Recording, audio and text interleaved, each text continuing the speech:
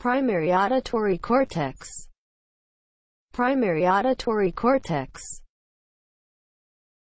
The part of the temporal lobe that processes auditory information.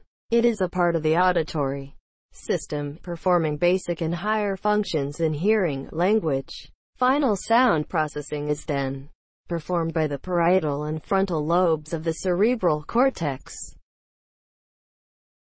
It is located bilaterally in the superior temporal gyrus of the temporal lobe and extends into the lateral sulcus and the transverse temporal gyri, Heschl's gyri, including the planum polare and planum temporale, roughly Brodmann areas 41 and 42, and partially 22.